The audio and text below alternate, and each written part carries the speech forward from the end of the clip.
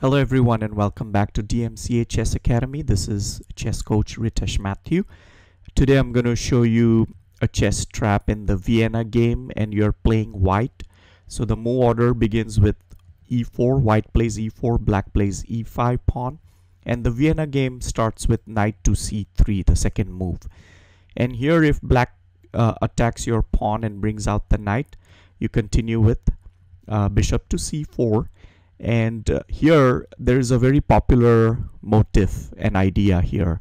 Uh, black may black will capture your uh, pawn which is protected. And uh, it may seem like black is giving up a knight just for a pawn.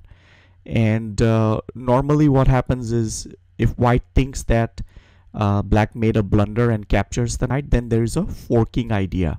So this pawn is protected by the queen and now the pawn is forking both the pieces. So um, if white uh, captures the pawn then uh, uh, black gets the material back. So it may seem initially like uh, black made a blunder by giving up a knight but black is going to recapture the material back. So this is a very popular motive. So uh, when the knight captures the pawn here I suggest that you first uh, capture the f7 pawn and give a check. And obviously king will take your uh, bishop and then here you can capture the knight uh, back. So here um, uh, material is pretty much equal. So black will go ahead and make a developing move. He'll get two pawn center and also he'll get to open up his bishop's diagonal. So when this happens for now you can just ignore the knight uh, and just give a check queen f3 check. From here there are two possible scenarios. King can go to d8 or king can go to f8 so first check let's check what happens if king goes to d8 so if king d8 then again you can still continue to ignore the uh, attack on the knight and give a check. Now here there are two possible ways. Here either uh, they can block the check by putting the pawn to g6 or king can run to d7 and this is a much better option. Uh, this is a disaster because if they block it with the g6 pawn then you can capture the e5 and now there is a fork on the rook.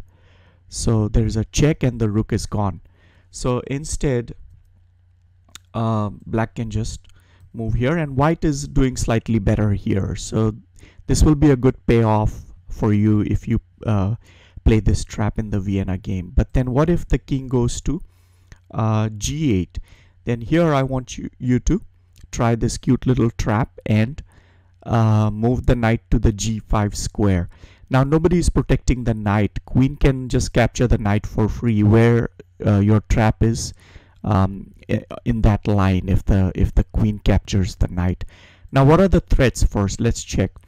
White is threatening to put the queen here and it's a checkmate. Queen will be protected by the knight. So white is threatening checkmate in one and also white is threatening to capture the d5 and again give a check along the uh, this diagonal. So for black these two squares are weak right now. So the right way for black to continue is move the queen to d7 and then protect both the threats take care of both the threats. But instead black falls for our trap and captures the knight over here. And this is pretty much over for black. So there's a forced sequence of moves now. Queen can capture the d5 pawn and give a check along this diagonal. And the only way now uh, black can uh, stop this uh, check is by putting the bishop and delay the checkmate by one. And then here, it's game over. Uh, queen captures e6, bishop is checkmate. So a very nice, cute little trap from white side of the Vienna game. So do try this trap and uh, see if it works or not. So thank you for watching once again and have a great day.